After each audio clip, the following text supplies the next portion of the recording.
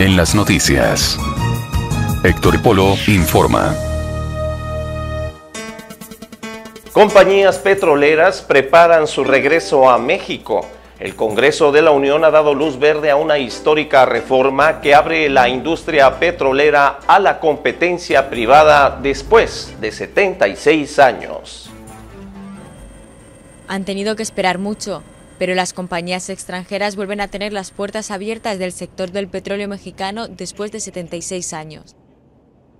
El monopolio de la empresa estatal Pemex se ha terminado gracias a una reforma energética recientemente aprobada en el Congreso.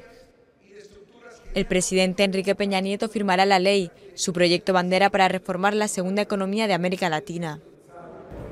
La intención del presidente precisamente es que México se convierta en una potencia energética y le estamos dando las herramientas en las leyes para que esto así suceda.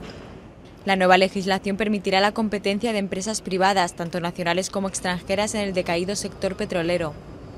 Las principales compañías, como el gigante estadounidense Exxon y la británica BP, están ya expectantes para entrar en el mercado mexicano, aunque todavía guardan cautela y esperan a conocer los detalles de los contratos. Es obvio, se ha visto de mil maneras que las grandes empresas internacionales tienen interés en venir pero también todas esas grandes empresas internacionales están a la expectativa, quieren ver más, quieren ver los proyectos. Pero abrir la puerta a la inversión extranjera no complace a todo el mundo. Los opositores temen que esta legislación sea el primer paso para la privatización de Pemex y que reduzca el presupuesto de México, un tercio del cual proviene de los ingresos de la empresa. Este esquema fiscal que se está planteando es muy generoso, me parece que se cometen excesos con las corporaciones petroleras internacionales y arriesga la renta petrolera mexicana. Para muchos el cambio era necesario para solucionar los problemas de Pemex, una gestión ineficiente, corrupción y disminución de la producción. Además, el gigante también tiene carencias tecnológicas y financieras para acceder a las aguas profundas del Golfo de México. Sí, creo que es una reforma que requería el mercado como tal, sobre todo para elevar la competitividad de las empresas que dependen del el petróleo, de la refinación del petróleo. Tenemos cadenas productivas anticompetitivas.